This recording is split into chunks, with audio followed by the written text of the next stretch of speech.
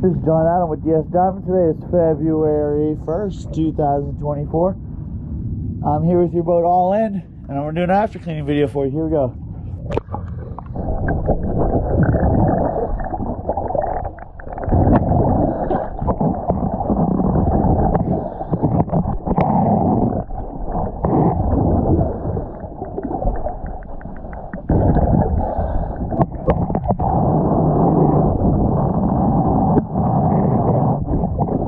you